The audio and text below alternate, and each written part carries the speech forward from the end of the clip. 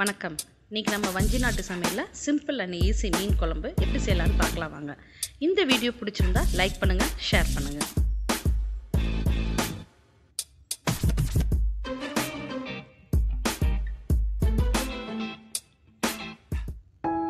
இதுக்கு தேவையான பொருட்கள் ஒரு நெல்லிக்காய் அளவு புளி எடுத்து கரைச்சி எடுத்து வச்சுக்கிறோம்.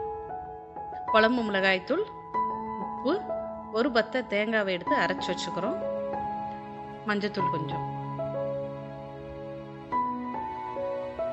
நம்ம வணக்கறக்கு சின்ன வெங்காயம் பத்து பதினஞ்சு வெ சின்ன வெங்காயத்தை எடுத்து கட் பண்ணி எடுத்து வச்சுக்கிறோம். பூண்டு நாலஞ்சு பல் கருவேப்பிலை கொஞ்சம் தக்காளி சின்ன தக்காளி. மீன் எடுத்து கழுவி வச்சுக்கிறோம். ஒரு பாத்திரத்தில் புளிக்கரைசலை ஊற்றிக்கலாம் மிளகாத்தூளையும் போட்டுட்டு மஞ்சத்தூள் கொஞ்சம். இந்த குழம்புக்கு தேவையான அளவு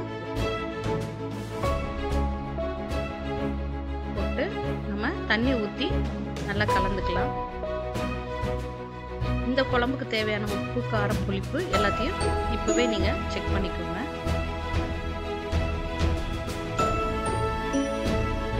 நம்ம கர புளிக்கலசல் ரெடி ஆயிடுச்சு. ஒரு வடச்சட்டி வச்சு நல்லெண்ணெய் ஊற்றிக்கலாம் தாளிக்கிற்கு கடுகு போட்டுட்டு வெந்தயம் கொஞ்சம் போட்டுக்கோங்க. வெந்தயம் பொரிஞ்ச உடனே நம்ம எடுத்து வச்சுக்க கருவேப்பிலை வெங்காயம் பூண்டு எல்லாத்தையும் போட்டு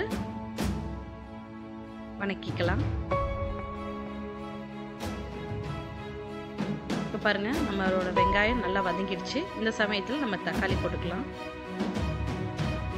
தக்காளி நல்லா வதங்கணும்னு அவசியம் இல்லை. இப்போ நம்ம எடுத்து வச்சுருக்க புளிச்சல் புளி கரைசல்லாம் ஊற்றிட்டு மூடி வச்சுருங்க. நல்லா பத்து நல்லா பச்சை வாசல்லாம் போனதுக்கப்புறம்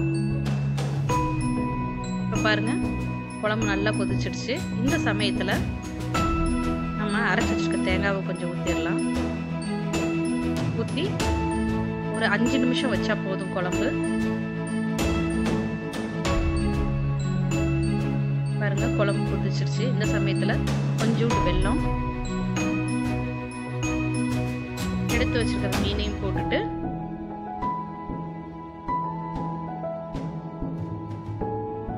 ரொம்ப கலரக்கூடாது. சும்மா லேசாக அப்படியே கலரி விட்டுட்டு மூடி வச்சுருங்க.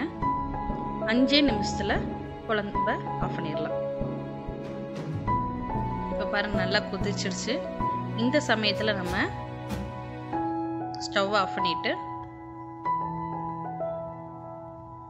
ஒரு சின்ன டிப்ஸு இந்த மாதிரி கரண்டியில் மீன் குழம்பு எடுத்திங்கன்னா தான் மீன் வந்து உடையாமல் வரும். பாருங்கள் நம்ம மீன் எவ்வளோ அழகாக உடையாமல் வந்திருக்குன்னு. இந்த ரெசிபியை நீங்கள் வீட்டில் ட்ரை பண்ணிவிட்டு உங்கள் கருத்துக்களை எங்களுக்கு பதிவு பண்ணுங்கள் நன்றி.